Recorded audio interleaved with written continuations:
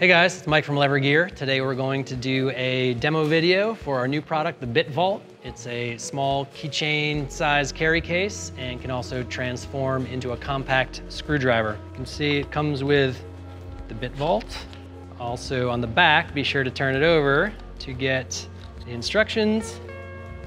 And there is a little uh, accessories case here. So this will be all the accessories for your Bit Vault and we'll get to those in a minute. Uh, but first off, just a few things about the Bit Vault. First, there is a little clip here, so you can clip it onto your, your keychain. Um, it's designed to sort of fit with your keys, or you don't, you don't need to keep it on your keys. You can just sort of keep that in a pocket. To open the Bit Vault, you may see there's a couple of small silver buttons here. Those are just little release clips. So we'll just push that and slide it out. You'll see a uh, rubber gasket here to seal up the bit vault so it's watertight. And then these release clips, that's what locks it in place. So to close it, you just give this a little pinch, push it in, and you should hear a click or even two clicks. Both of those buttons should be fully engaged and you know you've got it closed.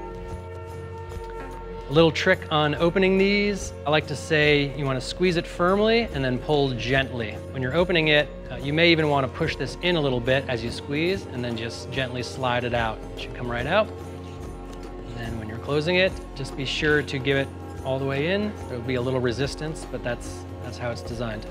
Now as we go to the accessories, the Bit Vault comes with two bits, belt clip with some screws to attach it, and three divider pieces here. There's two long dividers and one sort of short divider.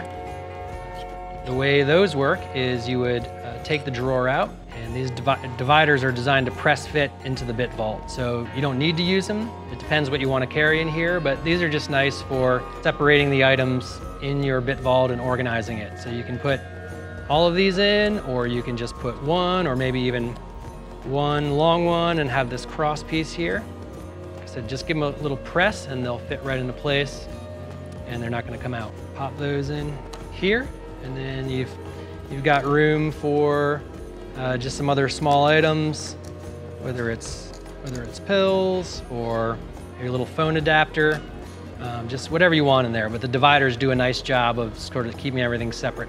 One thing to point out, uh, you always want to have the bit vault side on the top as you're, as you're pulling it out. Uh, the other side is just lever uh, with no bit vault there.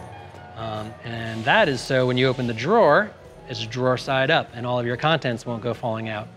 Um, if you try to put it in the wrong way, it's designed it won't fit. So this won't go in anymore, so it's not gonna lock. This is the optional belt clip. Um, it's, it's entirely up to you how you wanna carry this, but to assemble this, it's pretty straightforward. I've got a one and a half millimeter uh, Allen key, and it comes with these two screws, so you just you just line this up with these holes, those down. Probably don't tighten it all the way at first. And once you're ready to tighten it down, I would just give this a final check to make sure it's aligned in the center where you want it, and then just give this a little tighten. So now you've got your, your belt clip in place. Uh, and this is good if you want to uh, clip it to your pocket or inside of a bag. So if you're gonna use the bit vault as a small screwdriver, uh, you keep your bits inside here and you can just take them out, plug them into the front, and you've got yourself a screwdriver. As you can see, it's, it's magnetic so the bits won't fall out. Uh, also, it's designed to be able to plug the bits into this end so you can use it as a torque wrench.